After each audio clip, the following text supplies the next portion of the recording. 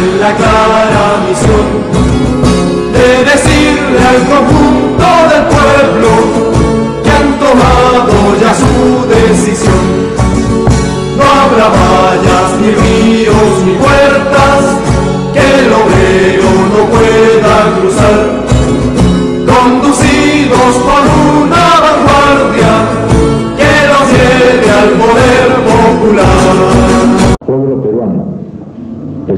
Néstor Serpa Cartolini, miembro de la Dirección Nacional del Movimiento Revolucionario Tupac Amaru. Esta posibilidad de dirigirnos a ustedes no es un regalo, es una conquista. El pueblo no tiene libertad de opinión. A los revolucionarios se nos niega la posibilidad de acceder a los medios de comunicación, porque temen que nosotros denunciemos el verdadero carácter de la guerra que vive nuestra patria. Los ricos dicen que la violencia es responsabilidad de las organizaciones revolucionarias. Nada más falso. Nuestro pueblo vive siglos de violencia permanente por parte de los explotadores. Porque es violencia cruel que más de 150 de cada mil niños mueran antes de cumplir un año. Que otros tantos millones mueran de enfermedades sociales perfectamente curables y cientos miles de ellos crezcan con desnutrición crónica. Que la mayoría del pueblo viva en la más absoluta miseria, mientras se llenan las arcas del imperialismo y de los monopolios, amparados por los fusiles del Estado. Cuando los obreros, los campesinos, los pobladores reclaman cosas mínimas, se les responde con balas, palos, bombas lacrimógenas, perdigonazos, se les encarcela o se les asesina. Y todos estos crímenes son realizados impunemente y a sus autores se les pone el título de heroicos defensores del Estado de Derecho. Estos hechos han sido realizados tanto por los gobiernos militares como por los llamados gobiernos democráticos. Nosotros, como parte de ese pueblo, hemos sufrido esas agresiones. Así nos forjamos, así aprendimos a luchar. Comprendimos que si no eran capaces de ceder pacíficamente a mínimas reivindicaciones, menos iban a ceder sus privilegios y el poder político para el pueblo. Nosotros comprendimos de que si amábamos la, justicia y la libertad, había que conquistarla. Para ello había que poner a la violencia reaccionaria de los opresores la violencia revolucionaria del pueblo organizado. Ayer éramos un puñado que teníamos como arma solamente nuestra interés y nuestra moral. Hoy somos miles, organizados en frentes guerrilleros, con unidades milicianas y de autodefensa extendidas a lo largo de todo el país. Pero lo más importante es que nuestra influencia crece día a día y el pueblo se suma a la lucha.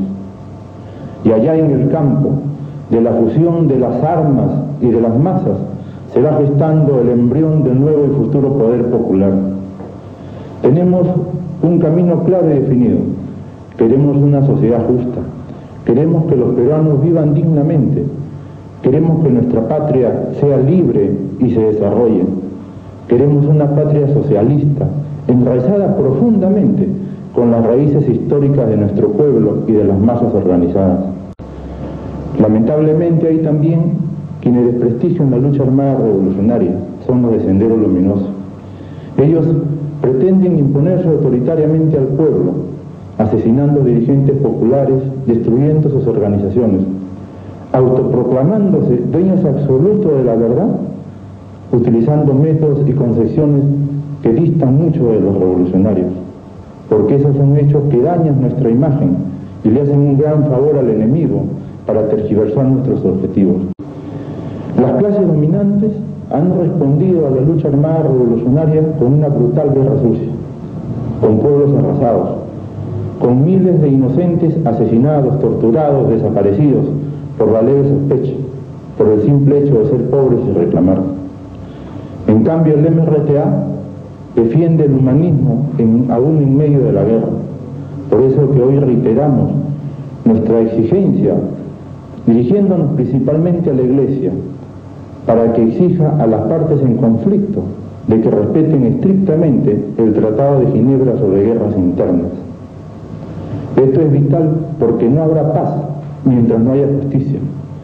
Jamás aceptaremos la paz de los cementerios, la paz de la sumisión y del vasallaje. Pueblo peruano, nosotros no luchamos contra un gobierno u otro, nosotros luchamos contra este sistema capitalista de explotación y las elecciones solo cambian a quienes administran este Estado protector de esa explotación. El MRTA lucha por una verdadera democracia, basada en el pueblo organizado, donde el pueblo pueda designar a sus representantes, basado en la trayectoria de sus actos, donde existan mecanismos de control popular que pueda combatir la tendencia a la burocratización. Esta es nuestra democracia socialista y solo será posible cuando las fuentes de riquezas estén en manos del pueblo. Pero más allá de las elecciones el pueblo tiene un solo camino, el de la lucha. Es sumamente necesario fortalecer las organizaciones gremiales, los frentes de defensa, las comunidades. Debemos responder a la agresión con la fuerza y el poder. Es importante formar la autodefensa de masas y el poder popular para enfrentar la agresión de las Fuerzas Armadas y de sus bandas paramilitares. Ratificamos que nuestra lucha es por el poder para el pueblo y por el socialismo, como única alternativa. Se equivoca el imperialismo de la derecha cuando considera que lo sucedido en Europa del Este es el fracaso histórico del socialismo. Nada más falso. Lo que allá ha sucedido es el fracaso de un modelo de construcción del socialismo. En el Perú y en América Latina, el capitalismo y la democracia burguesa solamente ha traído más hambre y miseria, y eso lo conocemos perfectamente. Hablar de cambio es afirmar la revolución y el socialismo. Con las masas y las armas, patria o muerte, venceremos. Desde el fondo del pueblo ha social. Son los pobres del mundo que avanzan como ejemplo tiene.